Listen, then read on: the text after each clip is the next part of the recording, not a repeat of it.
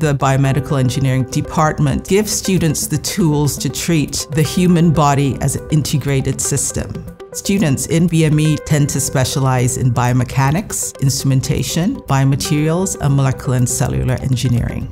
We've had an opportunity to craft a major that we think is uniquely tuned to the needs of biomedical technology fields to engineer robust solutions that work in changing and uncertain environments. I love biology and its intersection with math and physics. Biomedical engineering can go into such a wide variety of fields, and I just felt that it was a natural major for me. Cornell has a very developed, well-researched program, so I really wanted to be a part of it. A lot of the important skills I've learned are in creativity and design thinking. In a lot of courses, we work on developing a theoretical new therapy or device. This is a great time of scientific discovery.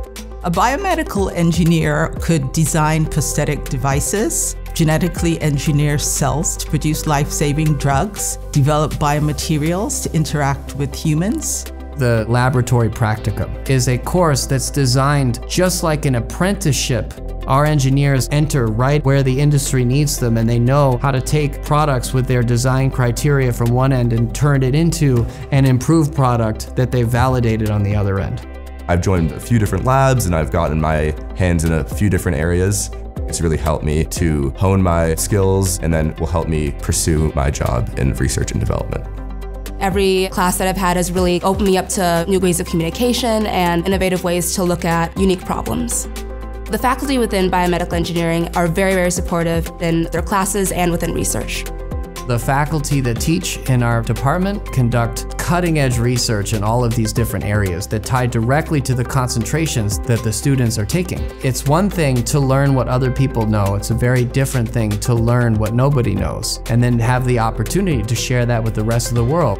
Students get to do the type of experiments that many students only would see when they get to grad school, such as nanobiotechnology, tissue engineering, and biomechanical testing.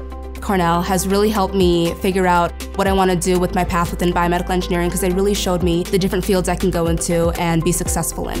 Biomedical engineering is all about helping people. And if that's what you really want to do, then this is a fantastic major to find creative and innovative solutions. I would advise students to really open up their minds to the possibilities of what they, as the next generation of biomedical engineers, can do